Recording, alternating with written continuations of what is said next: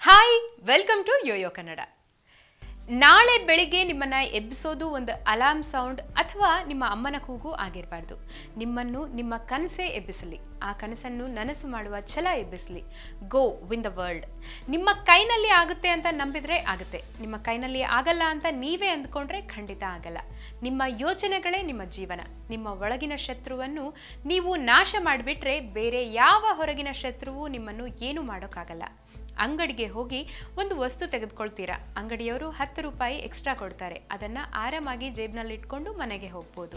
ಆದರೆ ಅದನ್ನು ವಾಪಸ್ ಮಾಡೋದ್ರಲ್ಲಿ ಒಂದು ಸಣ್ಣ ಸಂತೋಷ ಇದೆ ಅಲ್ವಾ?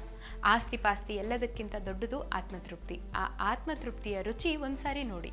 ನಿಮ್ಮ ಜೀವನದ ರುಚಿಯೇ ಬದಲಾಗುತ್ತೆ. ಒಬ್ಬ ಸ್ತ್ರೀ ಮಂಡಿಯೂರಿದ್ದಾಳೆ ಎನ್ನುವ ಒಂದೇ ಕಾರಣಕ್ಕೆ ಅವಳನ್ನು ಅಬಲೆಯಾಗಿ ಕೇವಲವಾಗಿ ಕಾಣಬೇಡಿ. ಯಾಕಂದ್ರೆ ಅವಳು ಎದ್ ನಿಂತರೆ ಅವಳು ಎಷ್ಟು ಉದ್ದ ಇದ್ದಾಳೆ ಅಂತ ನಾವು ಊಹಿಸ್ಕೊಳ್ಳೋದು ಕೂಡ ಕಷ್ಟ. ಪ್ರೀತಿ ನಿಶ್ಚರಣವಾಗಿರಬೇಕು, ದ್ವೇಷ ಸಕಾರಣವಾಗಿರಬೇಕು.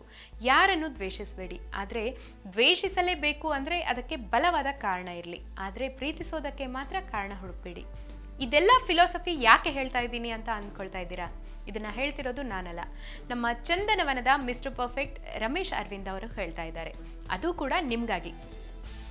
ಇವುಗಳಲ್ಲಿ ಯಾವುದೋ ಒಂದು ವಾಕ್ಯ ನಿಮ್ಮ ಜೀವನವನ್ನೇ ಬದಲಾಯಿಸ್ಬಿಡಬಹುದು. ಇನ್ನು ರಮೇಶ್ ಅವರ ಪುಷ್ಪಕ ವಿಮಾನ ಚಿತ್ರದ ನಂತರ ನಿರ್ದೇಶನ ಹಾಗೂ ಕಿರುತೆರೆಯ ಕಾರ್ಯಕ್ರಮದಲ್ಲಿ ತೊಡಗಿಕೊಂಡಿದ್ದ ರಮೇಶ್ ಅವರು ಈಗ ತಮ್ಮ ಒಂದೂರದ ಒಂದನೇ ಚಿತ್ರಕ್ಕೆ ತಯಾರಿ ನಡೆಸಿದ್ದಾರೆ. ತಮ್ಮ ಮುಂದಿನ ಚಿತ್ರಕ್ಕೆ ಪುಷ್ಪಕ ವಿಮಾನ ಖ್ಯಾತಿಯ ಎಸ್ ರವೀಂದ್ರನಾಥ್ ಅವರೇ ಆಕ್ಷನ್ ಕಟ್ ಹೇಳಲಿದ್ದಾರಂತೆ. ಈ ಮೂಲಕ ಮತ್ತೊಮ್ಮೆ ಈ ಜೋಡಿ ಒಂದಾಗಲಿದೆ. ಪುಷ್ಪಕ ವಿಮಾನ ಚಿತ್ರವನ್ನು ನಿರ್ಮಾಣ ಮಾಡಿದ್ದ ವಿಖ್ಯಾತ ಬ್ಯಾನರ್ನಲ್ಲಿ ಈ ಚಿತ್ರವು ತಯಾರಾಗಲಿದೆ ಎನ್ನಲಾಗ್ತಾ ಇದೆ. ಸದ್ಯ ರಮೇಶ್ ಅರವಿಂದ್ ಅವರು weekend with Ramesh three season ಅನ್ನ ಮುಗಿಸಿ ಬಟರ್ಫ್ಲೈ ಚಿತ್ರವನ್ನ ನಿರ್ದೇಶನ ಮಾಡ್ತಾ ಇದ್ದಾರೆ.